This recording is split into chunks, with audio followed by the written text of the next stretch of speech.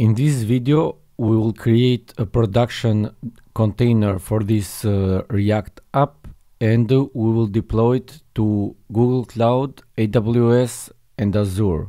So let's start. First I'll create a file called Dockerfile.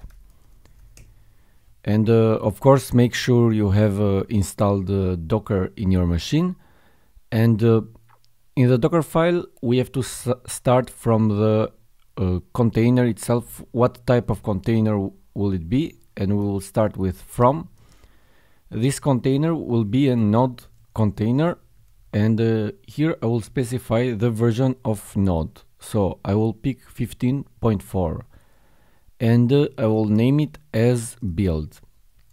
Uh, I will explain uh, later why I named it like this. So let's start with this container uh, we have to specify the working directory. I will call it app. So you can put whatever you want here. And let's copy the packages the JSON to that uh, uh, working directory. So this means uh, we have to copy this package.json dot means uh, the working directory here.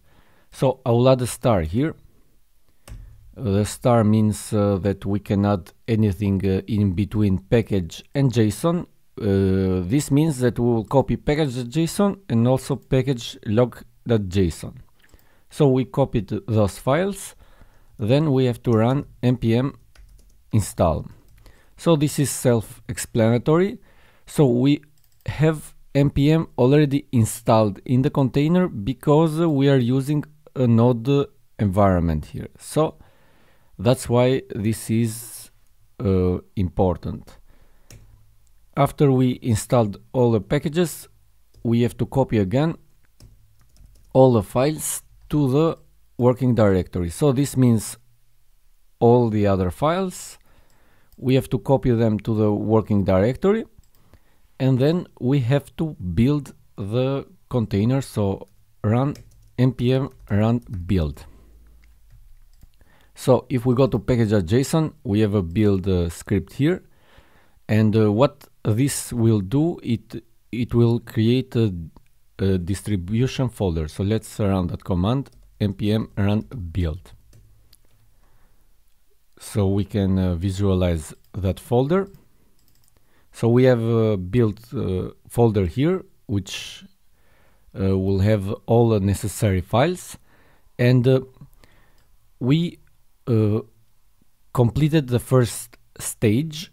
So uh, this will be a multi uh, stage Docker build, which means that we will have another stage. So we have all these files inside this Docker container, but we need only the build folder. So uh, there is no need to keep all of them. Uh, we can uh, have a smaller container and to do to do that we have to uh, add another from here. And this container will have uh, nginx so I'll pick the latest version. So if I want the latest version I will just uh, add nginx here or I will add uh, 1.19 and uh, in this nginx uh, uh, container. Uh, we need to add here I will create another directory nginx. And here I will create a file nginx.conf and uh, here I'll paste this uh, configuration. So th there's a lot of text but uh, you can uh, copy this file on the source code in the video description. So this is required to access the file index.html directly here. So the build has index.html and all the JavaScript files that we need. So uh, we have to copy this file to this uh, nginx container so copy nginx nginx.conf to etc nginx nginx.conf. So we added our own nginx configuration. Then, and the second uh, step is to add uh, the build folder to the nginx HTML. So that's why we name this as build here. So here I will copy from build. So this is a command from this uh, container here, which has this build folder. We'll copy up build. We specify the working directory to be up, so it makes sense that uh, the uh, build folder is up slash build. And we have to copy this from user uh, user share nginx html. And that's it. So this is our uh, uh, docker container to build this react app uh, in production. So uh, to run this uh, simply run docker build uh, I will specify the name for this container. So to specify the name for the container you have to add here minus t and uh, the name of the container I'll specify it to app. Then we need the context which is uh, this uh, directory. So we specify it with dot and that's it. So we'll build this Docker file and we will assign it a name to app. Let's build it. So it's building. Now the container has been built. Now it's ready to be deployed. But before we deploy it, let's see if uh, this is running uh, fine, but uh, by running it on the browser. So to do it, run docker, run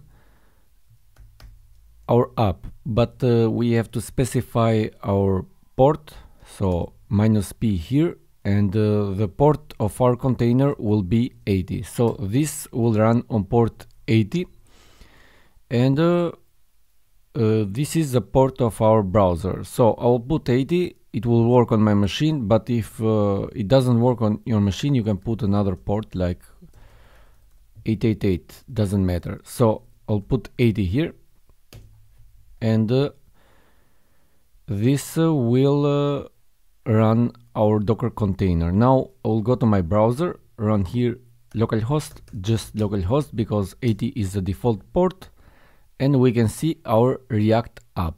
So we uh, created a docker container to be deployed now and now let's deploy it. I will close this uh, IDE because we don't need it anymore. So I'm logged in now to my AWS management console and uh, we will push now our Docker container to the Elastic Container Registry. So I have a shortcut here or we can search it. So let's go to the container registry and uh, uh, this is the container registry uh, let's uh, see the repositories. So we don't have any repositories or registries. Uh, we have to create one. So uh, we will push our Docker container here to have uh, our uh, repository. First, before we do anything, make sure to install the AWS CLI. So go to aws.amazon.com slash CLI and uh, on the right side here you can download the Windows version, the Mac OS version or the Linux version. So with this you will have access to your terminal to AWS and you have uh, several commands that you can use. So now let's first log into Elastic Container Registry by using this command. So uh, AWS ECR is Elastic Container Registry. Uh, this is a command to login. This is the region, uh, region US uh, is 2. Pipe docker login. The username will be AWS. The password uh, we, it will be generated by this one. So uh, that's why is password std in and uh, this other url is like this is our user id so we can find that uh, if we go to our account you, we have the id here. So that's it. And uh, .docker.ecr this is also the same region. And amazon aws.com let's run this command.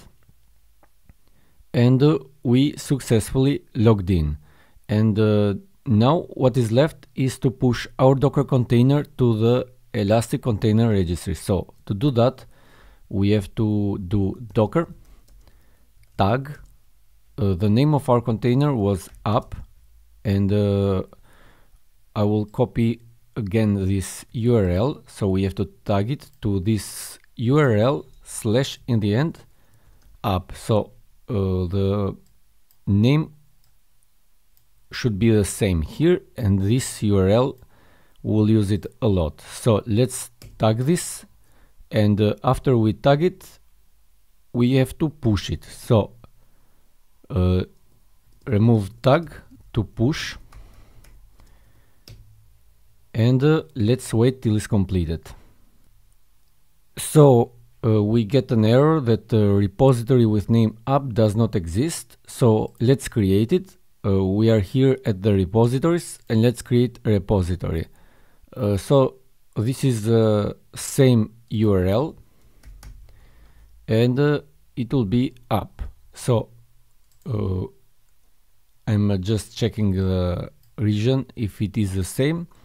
So uh, this will be a private repository. This is the repository name and I will leave the others by default. Let's create this repository and we created it. So let's uh, push our image now not here here docker push and now it's pushing so uh, this uh, will take some time and the image will be pushed to the repository. So our image has been pushed. So if we go to our repository, we have uh, one latest image here, the size and everything else. So we have our image in our repository. I'll copy the URI here for the repository because uh, we will need it. And now let's go to Amazon Container Service, Elastic Container Service, ECS. And here go to the clusters and we will create a cluster. So uh, I will select uh, the AWS Far Fargate uh, cluster because uh, it will uh, take care the managing of the server for us. If you want to manage your server, uh, select this other one, but this is way easier if we select uh, AWS Fargates. So let's go next. Uh, the cluster name. So my app. And uh, I will create a default VP VPC for this uh, cluster. And uh, I won't uh, select anything else. Let's create it. And let's wait till this is completed. So the cluster is created, click uh, view cluster and now we need uh, a task definition. So go to task definitions and let's create a new task definition. So I'll select Fargate. Next step, the task definition name, I'll call it app. The role, I'll select none. And uh, the network uh, mode I will select the default. And uh, for the task memory 0.5 gigabytes this CPU so I'll select the minimal versions. And uh, the container. Here we need to add the container that we just copied so this container. And the container name it will be also up uh, here we need to set up the port. So 80 was the port inside the container so we have to map it here. And uh, we can add also other configurations but I won't add any. So let's add this. And we added our container there. And uh, that's it basically. Let's create this uh, task definition. So it was successful. And now let's go to our cluster and uh, here now we can create our service. So this will be also a fargate. Uh, we need uh, the task definition uh, that we created. So uh, Amazon will automatically assign it. Uh, we need a service name so app. So we have a lot of apps with names number of tasks I will select one but you can select two it will create two containers. Uh, one it will be only one container. So I will keep everything minimal but you can select two. And uh, everything uh, should be uh, okay now. So let's go to the next step. Subnets I will select uh, one of these options. And uh, I will assign a public IP yes. Load balancer I will select none. And uh, next step. Uh, here we can uh, auto scale but uh, since uh, this is an example I will not auto scale so it will be just a simple container. Review create service. So everything is created. So let's go to the view service and uh, let's click here. And the status is pending. Let's wait till uh, is uh, uh, running. And then after it's running we will have a public IP which uh, we will see it. Let's wait. So our task is running now and we have a public IP for it. So I'll copy this IP I'll paste it here and uh, this is our app. So this is how we deploy a docker container to AWS Fargate Thank you for watching this video, don't forget to like, share and subscribe. Thank you.